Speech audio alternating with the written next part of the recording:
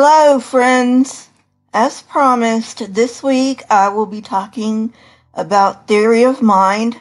As I have said, it is tangential to religion, but it is vital that you understand what theory of mind is because it will come up later. So let's go.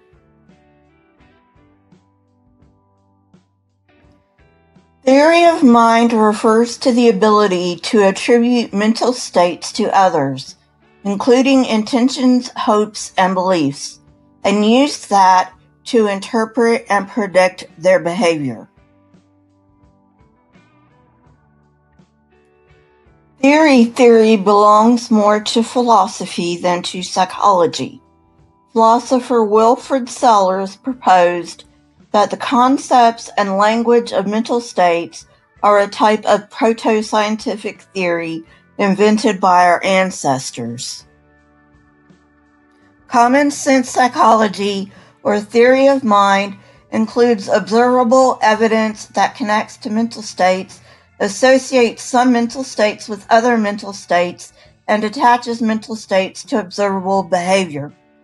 Attributing mental states to others means the person draws inferences from another's observed behavior since mental states themselves are unobservable. In the theory theory model, children are viewed as small scientists who make observations and change their minds about how the world works to fit those observations. This includes observable behavior, which can then be attributed to unobservable mental states.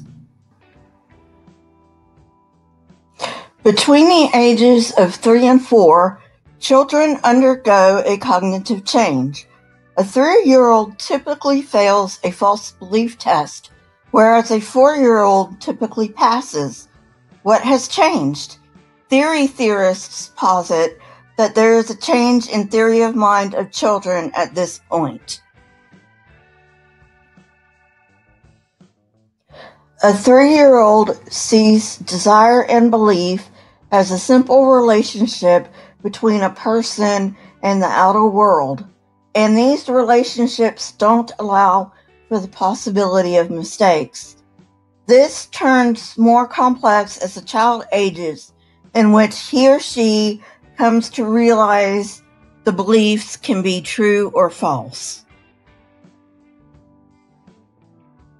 A three year old does not yet understand beliefs can be false, but a four year old does. However, subsequent findings dispute this theory. Challengers hold that three year olds have an executive function problem not a belief concept problem. Other researchers used the modularity nativist approach, which postulates domain specific modules that are innate and mature at pre programmed stages. Nativists hold that mentalizing is triggered, not learned, because it is in our genes. Alan Leslie hypothesized a theory of mind mechanism and points out features. Domain specific, it utilizes a representational system to describe attitudes.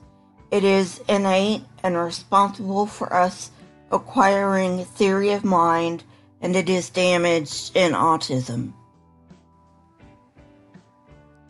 Another theory coming from philosophy is the rationality teleology theory, the leading idea of which is that one mind reads another by attributing to him or her a set of attitudes that render the person a rational agent and thinker. Proponent of this theory, named Dennis Dennett, speculates that we take a specific stance when we try to predict another's behavior called the intentional stance. In this stance, one takes the position that the agent whose behavior is to be predicted is rational. However, this theory is based more on thought experiment than empirical findings. An offshoot theory is the teleological stance. It cannot be said for certain that infants take the intention stance. The intentional stance means assigning to another a causal intention in harmony with rationality. The teleological stance only makes reference to actual and future states of reality. Simulation theory is based on empathy and the question, What would I do? The main idea is that the mind reader projects his or her own cognitive states onto another in order to infer what has happened or will happen next. In recent years, simulation theory has focused on simpler mental states. This incarnation of the theory deals with mirror neurons. Mirror neurons are a subclass of nerve cells that discharge when an animal plans to perform an action or when it observes another animal perform that action. If this also creates mental state attribution, it is also simulation mind reading. Social cognition needs behavioral and mental mimicry. Neonates less than an hour old show this mimicry. In a child, the emergence of pretend play is the beginning of the ability of the child to understand cognition. Thus, pretend play is an early manifestation of theory of mind. In order for children to use TOM, they must recognize that it does not matter what is, but what one believes. For instance, Sally might duck into a shop because she believes it is raining and she doesn't want to get wet. It doesn't matter if it really is raining, only that Sally believes it is. Around the second year of a child's life, he or she will start to communicate intentionally. In philosophy, theorists argue that intelligent communication is marked by the speaker having complex intent. Having theory of mind allows us to acknowledge that another person does not have all of the same information we have. It also allows us to shape other people's behavior by manipulating their beliefs.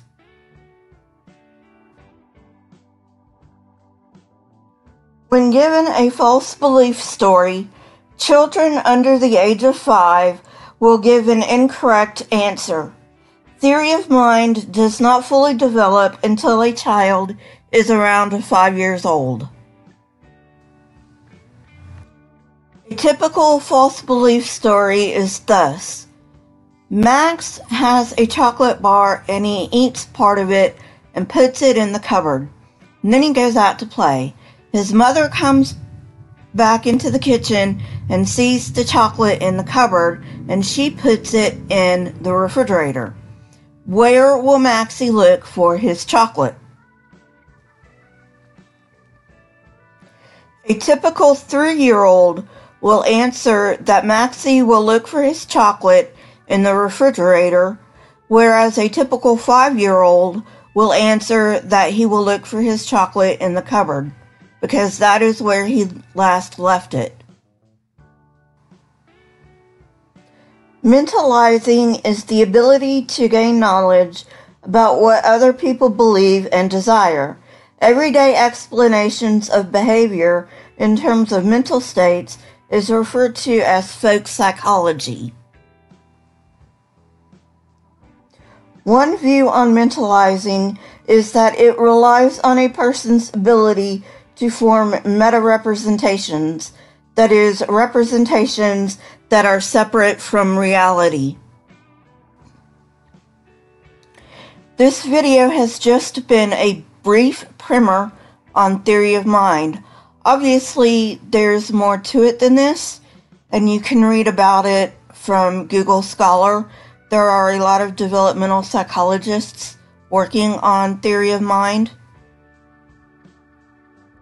You do need to know this for the rest of the series, though. I will be touching on it.